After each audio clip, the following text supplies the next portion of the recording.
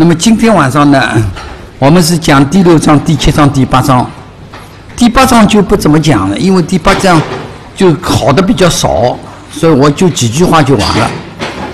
第六章、第七章，第现在好多同学跟我反映，看数理统计就讨厌，记不住，东西多。其实数理统计呢比较简单，我想把哪些东西要背的，哪些要记的，跟大家说一说。啊？现在好多同学看见数理统计就怕，其实数理统计将来用了很多，无论在这个学习上、将来工作上，你都可能会有很多帮助。所以我觉得大家怕你不怕，这个可能就将来就比较好了。不管数一、数三，现在统计大概有一个大题，二十一分，二十一分、二十二分中间有一十一分是统计的，所以这个统计的千万不要去放弃。对吧？那么其实统计就没多少东西。那么先我想讲第六章。第六章呢，这里面有一点说明一下，数学一跟数学三稍微有一点差别。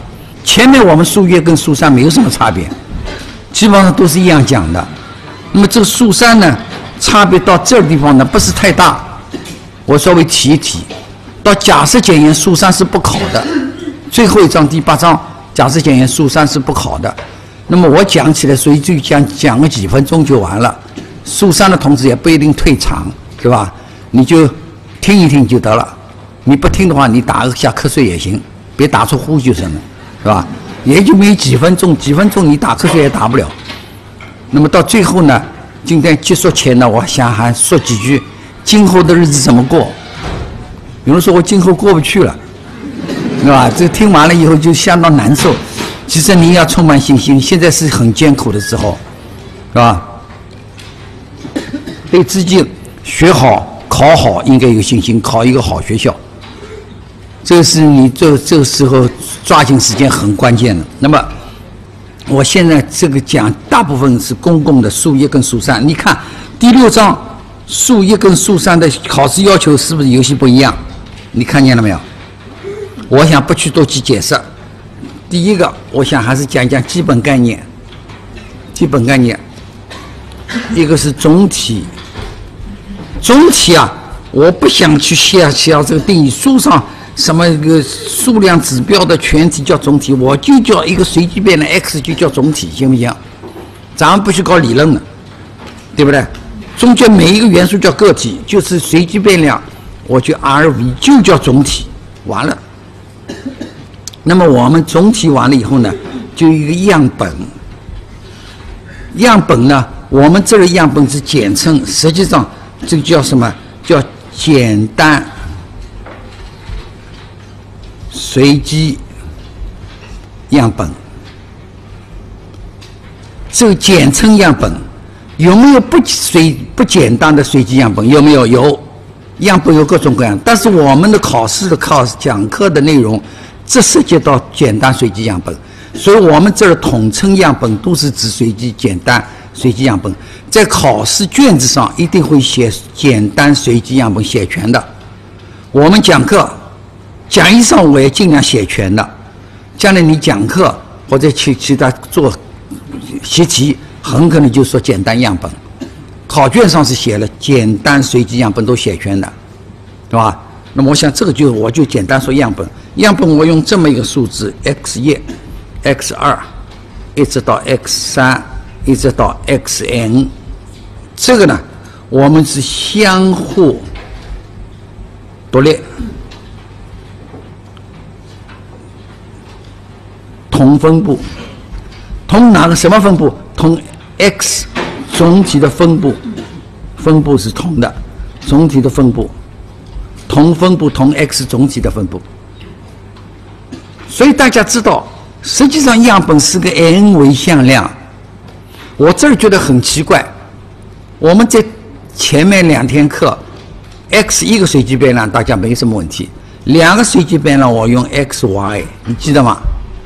三个以上随机变量我们不用了，我们就写 x 一、x 二，一直到 xn。有的我做学生的时候，我们打括弧的。现在。你打括弧也行，不打括弧也行。我们一般考卷上不打括弧的，两个一定打括弧，两个你不行算 x y 那不行的啊，两个必定要打括弧，两个以上我们倒反而不打括弧了，省事儿。你打括弧也不能算错，不打括弧也不能算错，都可以。那么简单的说，这是个 n 维独立同分布。那么我们就要取自于或者叫来自于总体的观察一个样本，这容量 n 就是容样样本的容量。那么大家知道，你一个总体从抽出来第一个、第二个、第二跟第一个是独立的，在第三个一直总共抽了 n 个，这就容量 n。那么这里假如有一个分布，哎，随机变量不是有分布吗？那么这里也有一个分布，请注意，这个分布是 n 维的，你同意吧？哎，n 个分量嘛，我们前面只讲过两个，第三章是讲过多元随机变量，就是讲两个随机变量。那么这里假如有密度，那么请问这密度是怎么回事？这是我们第一个碰到问题。这里假如有分布，我们这里的分分布率离散的，我们这里的分布率怎么样？这个东西呢，在大学里讨论的比较少。这两个讨论的比较多，对吧？那么我想，这个相互独立，我列罗脱离到我们忘写。所以这个样本呢，实际上两个要素：第一是独立，相互独立；第二个要素呢，同分布，同什么分布？同 x 的总体的分布是相同的，就这个要害，对不对？我们二维的这第三章呢，两个是不一样的，随便可以各管各的，是不是啊？那么我们现在就是独立同分布。那么我现在来先看看这个问题怎么解决，f(x) 怎么解决的？f(x) 我想是这么来解决的。哎，你 x 一是 n 维的，我应该是这样记的：p 大 X 一小于 x 一。哎，根据原来的写法，x 二。小于 x 二到 xn 小于 xn，你同意吧？那么我说原来的分布是这个，那么我因为你刚才说这个 x 一 x 二一直到 xn 是独立的，所以我可以把它拆开。哎，你记得独立的话一定能拆开，这一直乘乘到哪儿？p 的 xn 小于 xn，你同意吧？那么。我们知道这个分布呢，是总体的分布是一样的，所以我可以把它写成 f x 一。那么一直到这儿，f 也是分同分布的 x n。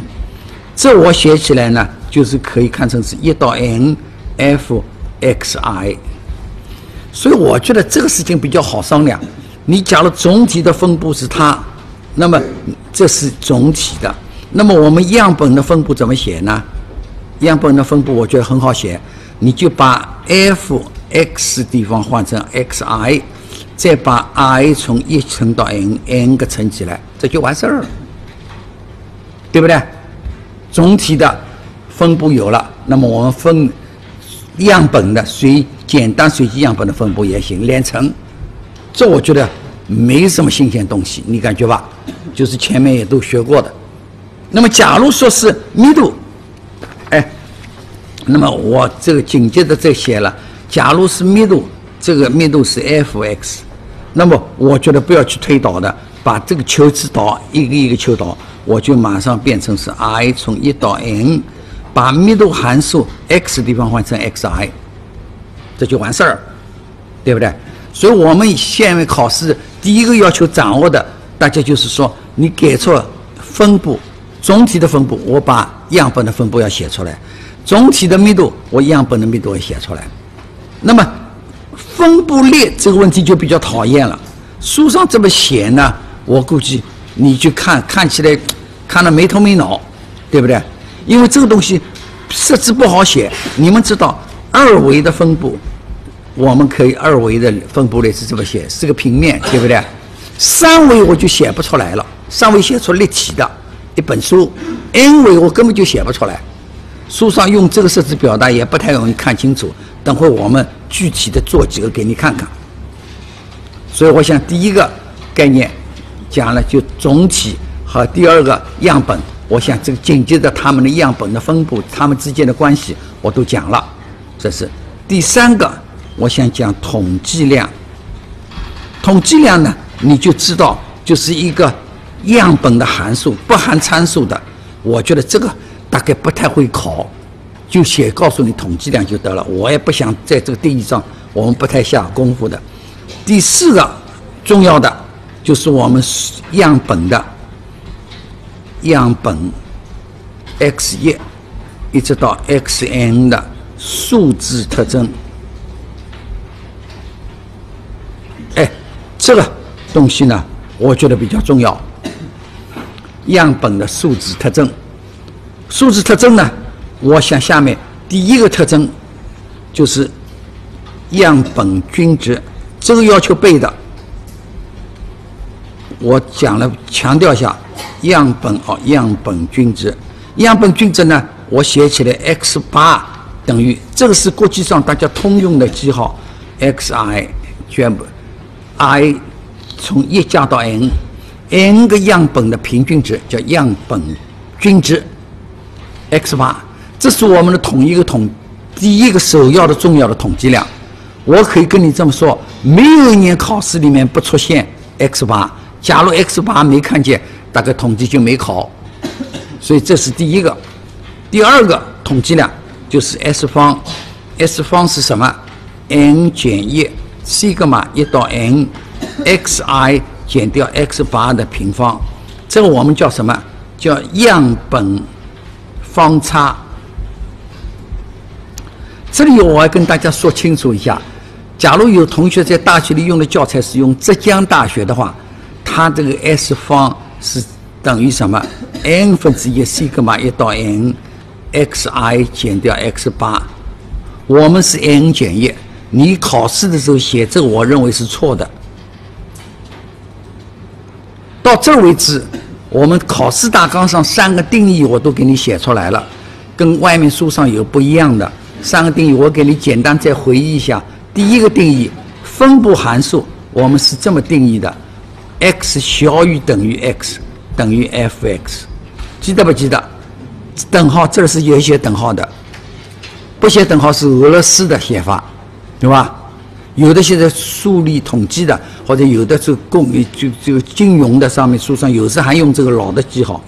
第二个，我觉得是指数分布，我们是这 lambda 一负 lambda x。x 大于零，x 小于等于零，记得不记得这个东西？浙江大学写上什么？lambda 分之一。你假如写他那个东西，我们算错的，对吧？第三个就是这个数学。那么有同志说很奇怪，你这个一到 n 个怎么就出个 n 减一呢？这不是 n 个数吗？我觉得不是 n 个数。这里你看上去是 n 个数，实际上只有 n 减一个数。有说明明一到 n 怎么会一到 n 怎么会 n 个数变成 n 减一个数呢？我告诉你一条，因为你知道 i 从一到 n，xi 这是 n 个数，n 个数加起来我不加平方，这个加起来等于什么？刚巧等于零，没有平方啊，没有平方加起来等于零，什么意思？你看我加加给你看，这个东西等于西格玛一到 n，xi 加上。n 个减掉 x n 个八，你同意吧？哎，这个东西呢西格玛一到 n x i 这儿呢减掉 n 一约掉西格玛一到 n x i 就等于零。换句话说，你看似 n 个数，实际上加起来等于零。换句话说，只有 n 减一个数，n 减一个数定完了，第二最后一个数加起来等于零，一定可以凑出来了。所以我们是一般用 n 减一，这 n 好像看上去整齐一点，你千万以后考试的时候别这么写，一定是这样写法。那么至于标准差 S 等于开根号，我就不说了，对吧？我写都懒得写了，叫样本方差，要样本标准差，考了有时也会提到。那么第三个，我们看看下面还有一个叫书上有个叫。经验分布，就苏三要求，我觉得你就算了。从这个定下来三十二年来，从来就没考过。呃，我我我我这个话要说清楚啊！我说第一个，三十二年没考过；第二，考试大纲上是有的；第三，你看着办。我，你叫我讲，我真很难讲。我说要，你就是不考，你干嘛要？你说不要不要，你考试大纲你为什么写？你参与考试大纲写制定，你怎么干？这东西你也知道，有好多事情领导意志，我也不好多说，对不对？是不是？所以我觉得你这个自己看着办。呃，你这么讲经验丰富，我反正是不看的，对吧？那么下面呢，游戏我到这儿为止，我想样本这个呃经验分分布我暂不谈。实际上这里面有两件重要事情，一件是 x 八，一个是 s 方，这是我们统计数理统计最重要的两个统计量。这个两个统计量你不掌握，我可以肯定你数理统计又没学过，没有一年不考的，对不对？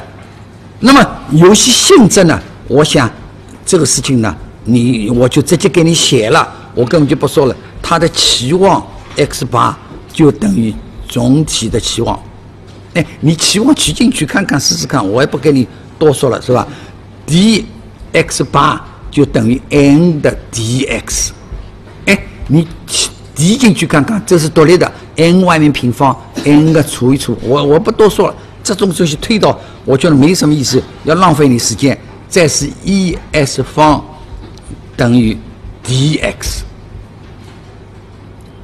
换句话说，到现在为止，我要求你背出这个东西，要求背出这个东西，内容我不写了啊，要就背出来 e x 八，要背出来 dx 八。要一背出来 e 的 s 方，哎，ds 方，对不起，我不要求背。我们只有在正态的时候要求记一记。历史上到现在近几年考过两次，考得非常糟糕，好多人背不出来，因为这个东西有点比较难。等会我们专门会讲。所以我认为这个五个东西你能不能想法子记一记？我最后告诉你。总共我们这儿大概记个八条，这儿五条，还有三四条，这个七八条、十来条左右就完了。总共大概十一条，你背出来，数理统计就没了。剩下的就是举估计、最大适量估计，这个估计了。所以我认为你数理统计你不用怕，就这个东西，我假定的大家都背出来了啊，对不对？现在我怀疑好多人复习到现在统计还没看，是很可能，对不对？因为统计比较讨厌，对不对？大家也老人家们也比较忙，天气也比较暖和，太热了一点，是吧？所以我想这个事情呢，这个五条要求大家背出来的，考试是毫不犹豫写的，所以我想这个第一点就是实际上就要要背的是这么个东西，对不对？等会我最后还要反复再这么说了。下面紧接着我们讲常考分布。常考分布就是书书上的第三节，对吧？第三节就是常考分布呢，常考常用统计量。哎呦，什么常用统计？就常考分布，常考统计量，常考统计量。我们就实际上一个这个，一个是 T，一个是 F。哎，我不知道你们南这个怎么念的。卡方是吧？卡方我觉得稍微说的稍微硬绷绷的，应该这个说起来叫 k，。英语拼起来 c h i chi。上次我碰到有个同学说长 s 长长 x，我觉得他就是认为这 x 瘦 x 高 x，他觉得这个 x 减肥减成这副样子挺好，挺苗条的。其实不是，这是希腊字，写起来是开。你稍微说的洋气点，开放，对不对？你当然卡方卡方也行，是吧？那么我想这个开 T F 这三个分布呢，我们要求大家背一背，背不要背的太多。我来给你推导一下，第一个开方分布，开方怎么说？我们说，假如。有一个 x 一，有 x 二，一直到 xn，都是标准正态。又是相互独立，对不对？那么我们相互独立标准正态，那么我们说开方是等于 x 一平方加上 x 二平方，实际上实际上什么意思呢？就是 n 个标准相互独立的标准正态的平方和，这个我们记成叫开方 n，这个 n 呢叫参数。我们又叫自由度，哎，这个自由度呢，这个东西呢，我觉得你什么理由，我就不去给你解释，因为你知道这个可以跟这个都是相互独立的，你可以你变，我可以我变，所以这有 n 个独立的随便变的，那么我们叫 n 个自由度。我做学生的时候比较奇怪。那是五十多年前了，五六十年前了，是吧？我们当时都打批判，什么叫自由度？这西方的什么自由子，胡说八道，偏批批判他们一通。其实我当时也没搞清楚怎么回事。现在我们说自由度也好，参数也好，开放 n。所以什么叫开放 n？我觉得实际上，你记住，第一条，它是 xi 服从标准正态，第二条。Xi 相互独立，换句话，这个设置加上这两个条件，这个你请你背一背。这我们叫什么？叫开放的典型模式。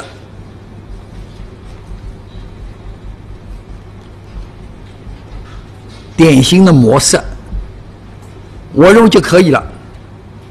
那么书上呢，我们还画了一个图，写出它的。密度函数，哎，我认为密度函数你就不用背了，我写都不写，以前还写，你在大学里的课本上还写的，我觉得你根本看都不用去看它，我画一个图就是画给你这样看，就这么个玩意儿。哎，有人说你画起倒挺省事儿，这么画一下就完了，是的，为什么？这是一个标准正态的平方和，所以它始终是正的，你同意吧？哎，都是平方和嘛，是不是？那都是正的，那么肯定是这样拱一下就下来了。你不可能翘上去，翘上去这个面积不等于一了，因为密度函数积分等于一的，是吧？所以你画这个图就可以了。至于这个东西设置是什么，我建议你不要去看了。我可以坦白个告诉你，我从来不记这个设置的，我也可以记录一条。所以命题组的老师也不记这个东西的。有人说我要清出于蓝、胜于蓝，我全给背出来。对不起，你你你现在老人家这个存储空间非常有限，对吧？这种东西就算了，我痛痛快快看都不用看，行不行？对不对？你我书上都没写，所以我觉得你将来记住，开放就是这种形式，n 个相互独立的平方和，满足这个条件。这个就是要记的东西。下面还有要背的东西呢。开放性质呢，我觉得什么阿尔法分位点不用谈了，这个根本就这块就面积是阿尔法，那么来个开放阿尔法分位点，看这个我觉得没什么太大用处，还没考过，对不对？但是有一样东西我觉得可以背一背，这 e x 平开等于什么？等于 n d 开等于二 n。这个地方两条性质，我认为稍微背一背。前几年考过这两条性质，基本上没有通知做出来。我觉得我们也大家对命题组的提了意见，你这个提出的太恶毒了，对不对？我想这个以后我等会来告诉你，这两题我现在选例题选上了，怎么去对付？等会我来再给你讲。正这个到这为止，我开放就算讲完了，痛快吧？我们讲的非常简单。第二个，我就是 T 分布。T 分布呢，我们也是把典型模式写出来，T 等于 x 根号 y n。那么我们说这个呢，服从 T n T 分布。T 分布呢，我们是这样，满足三个条件。第一个条件，x 服从标准正态；第二个条件，y 服从开放 n；第三个条件，x y 相互独立。你看，独立差不多有的，我觉得这就差不多了。那么下面你的密度要不要求？要不要记？你老人家算了，别记了，我就不用记了，对不对？那么还有一个问题呢，我觉得有一个东西要稍微记一记，就是说，它这个密度函数是个偶函数，这个 f(x) 是个偶函数，偶函数具有对称性，就仅仅如此而已。你画起图来，我告诉你就很简单，就画这么一个图。哎，有人说你这个不是标准正态吗？是的，跟标准正态差不多。你去看看标准正态的头没有那么尖，稍微尖一点就差不多了。考试不会有这个问题的。所以你看，这样的几个条件下一个设置，这个设置这就叫典型模式。你记住这条，我们这个三个分布。开放 T-F，只要典型模式，再加上一点点性质，譬如这条性质，譬如是个偶函数，偶函数有对称性，完事儿就够了，对不对？那么在第三个分布呢，我想也给你说一说。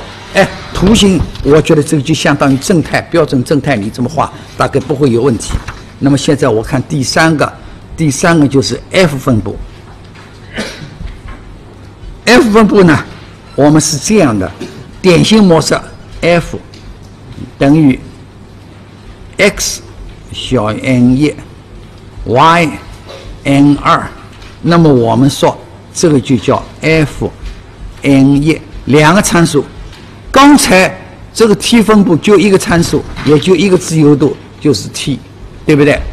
这儿我们有两个参数，那么第一个是条件呢？就 x 服从开放 n 一，第二个条件 y 服从开方 n 二，第三个条件 x y 相互独立。哎，你发现其实最后一个条件都是相互独立，你同意吧？没多少新鲜的东西。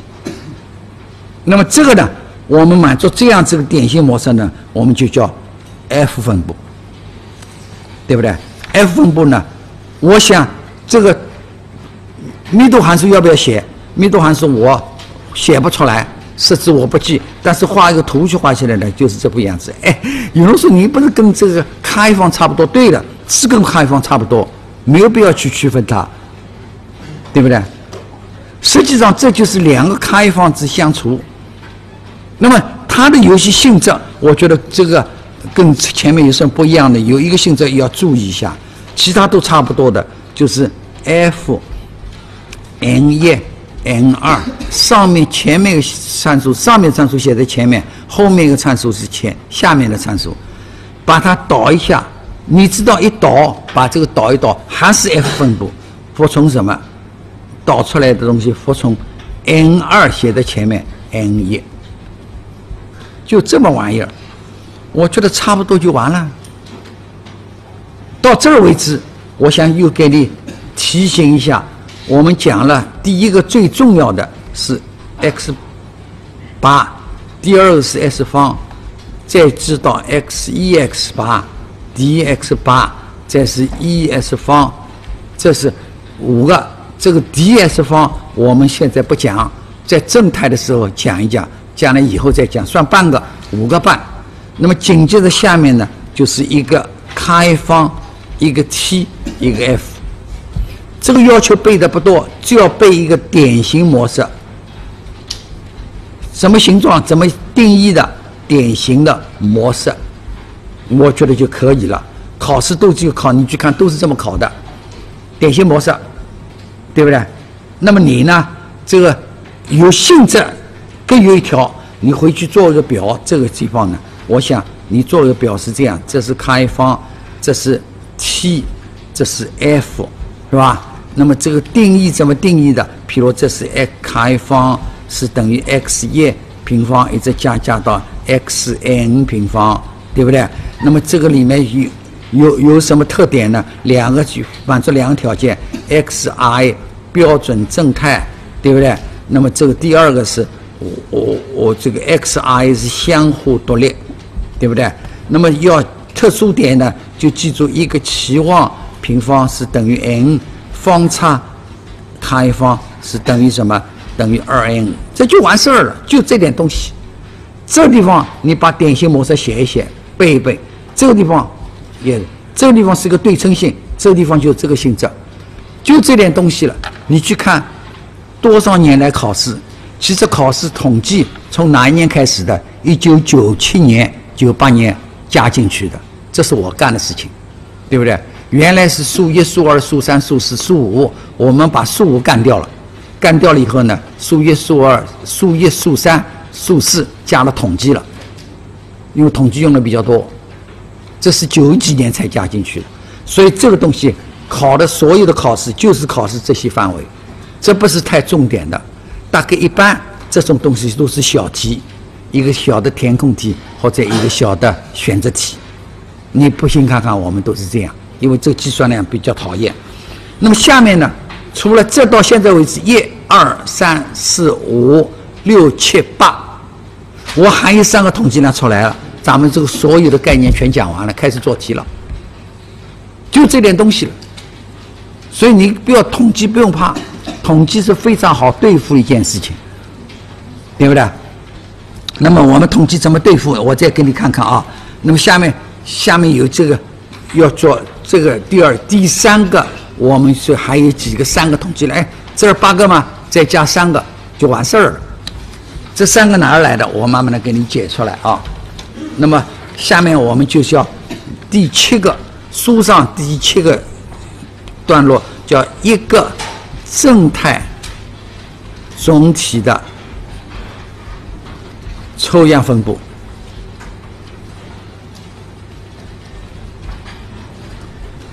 这个东西呢比较重要，一个正态总体，因为我们刚才讲的这个东西，这个统计量。没说这个是总体是抽正态，也没说这个正体是正态，这个只定义不谈，对吧？我们现在就说正态的情况下这些东西怎么办？所以这是正态。我们这个第七个是这样，下面还有第八个，第八个两个正态总体。我跟你这么说吧，两个正态总体，我是一句话都不说。为什么？大纲上是有的。三十二年从来没考过，我也是不背的，你自己看着办，对不对？我是不是哪天会考，我就不知道了。反正我在的时候从来没考过，对不对？就一个弄弄就够了，你去弄两个干嘛呀？你说对不对？当然，说不定哪天考两个，我就搞不清楚。反正我这还是这句话，大纲上是有的。三十年没考过，三十二年没考过，你看着办，对不对？我只能这样讲。那么现在我就讲一个正态总体。那么什么叫一个正态总体？就是总体是服从标，不是一定标准的，是一个正态，同意吧？那么抽的样本呢，你就知道 x n，请注意，这是一个 n 维的正态正态总体，同意吧？哎，n 维的正态向量，这是样本是这样，对不对？因为这是联合联合正态吗？相互独立的嘛，我们说过，相互独立就是它们边缘分布正态相互独立，合起来一定也是正态。这个式子写起来太麻烦了，我就不写了。那么第一个性质呢，我就说过，就 x 八当然是正态的。为什么？这个等于 n 分之一是一个嘛，一到 n？X n 个正态加在一起除除 n，当然还是正态。那么这个显然存存在是什么东西？是正态。缪，因为前面说过，它的期望还是缪，方差是 n 是一个嘛平方，这加就要背的。就正态的时候，这个东西就等于它，请大家背出来。第二，我说 x 方 x 八 s 方是相互独立的，这个我们没证明，我们也不要求证明。我们统计里面或者我们这门课里面。就这玩意儿，我就直接用。数学系的学生才证明的，我们只管用，不管证明，对不对？那么这个为什么是独立，我就不去说明了，你就记住它是独立，背出来的。我们这个地方已经考过两三次了，所以这大家要注意一下这玩意儿。那么我们说呢，开方等于 n 减一乘上 s 方，下面是西格玛平方。我们说服从开方 n 减一，这个性质我们不证不证明的给你写出来了。已经考过两次，出这种题是相当恶心的题。这两次考题基本上做出来十分之一不到。你是不是背一背行不行？我们这个下面例题有，对不对？第三个，第三条 t 等于 x 八减上缪，这是 s 根号 n，这个是服从 t n 减一。这我不去给你证明。在你大学的课本上是有证明的，我觉得这个我们不去搞证明。这个地方考的比较多。我们知道前面讲过三个分布，一个是开方，一个 T，一个 F。这个题大概几年考一次？两三年、三四年考一次一个小题。这个三个东西不是经常考的。上面 x 八 s 方是年年考的，那么这个不是经常考的。比较起来，这个相对考的多一点，为什么？这个最复杂，你记得吧？这个是 x 八，下面是根号，上面是标准正态，下面是什么？开方，记得不记得？这个地方实际上就是开方，这是两个开方相除，所以我们真正考这个 T 分布考的最多，比较复杂，所以你们看这个地方标准化以后。再出一个什么将来？你看书上都有证明，这是一个 T 分布。到这儿为止，两个样本，还第四条，书上第四条，第四条我就不说了，我觉得没什么意思了。为什么？第四条你看，他说是开方等于西格玛一到 n，这是 xi 减缪，下面是除西格玛，来一个。外面的平方，哎，请注意，这个玩意儿减缪除西格玛不是标准化吗？标准正态的平方和当然就是开方，所以我第四条我认为没有必要去记了，一定是的，你同意吧？就记三条，给你减轻一点负担。三条，到这儿为止，我统计的所有概念都给你理出来了。第两个样本我就不谈了，下面写出来你根本就看起来受不了的。我跟你说，到这儿为止，我给你总结一下，我们讲了这个地方讲一些什么东西。第一件事情，我们讲了总体，讲了样本，一直到 n，总体给出 f(x)，样本的分布函数怎么给？总体给了密度，样本的密度该怎么给？总体给了分布列，我们没讲，等会要讲了。第二条。我们说有些统计量，x 八，s 方，e(x 八 )，dx 八，e(s 方五个一流统计量，尤其这两个，这个当然就是数字具体的性质，所以这两个是一流统计量，一定要背的。再下面第三个就是开方 t f，这个叫典型模式，小 t。第三条、第四条就是在正态总体的时候，正态 x 的时候，那么请问 x 八，我们服从什么性质？书上写了一二三一，那刚才我们写了这上面一二三三条，正态的时候一、二、三三条，实际上把上面具体化。这个东西，这个东西就是我们统计里面的所有基本概念，我全给你总结了。能不能大家这部分内容都背出来，行不行？对不对？